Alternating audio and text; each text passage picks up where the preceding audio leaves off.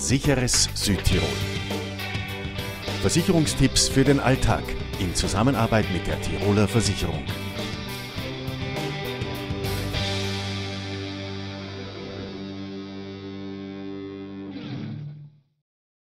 Die Sonne scheint, die Temperaturen steigen, viele Autofahrer setzen sich mit Flipflops oder gar barfuß hinters Steuer. Das Unfallrisiko steigt, was gilt es zu beachten? Dass man unterscheiden muss zwischen der Kfz-Haftpflichtversicherung und der Kaskoversicherung. Die Haftpflichtversicherung würde immer zahlen, wenn ein Schaden entsteht, der zusammenhängt mit den Flipflops, weil die Haftpflichtversicherung ist dafür da, dass der Dritte geschützt wird, also das Opfer des Unfalls.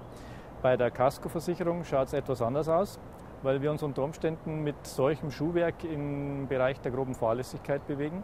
Und deshalb sollte der Kunde darauf achten, in seiner Polize zu schauen, ob die grobe Fahrlässigkeit auch wirklich mitversichert ist. Entschädigungen werden, wenn es sich nicht um grobe Fahrlässigkeit handelt, bezahlt. Die Tiroler Versicherung empfiehlt trotzdem das Tragen von sicheren und geeigneten Schuhen beim Autofahren, um das Unfallrisiko zu minimieren.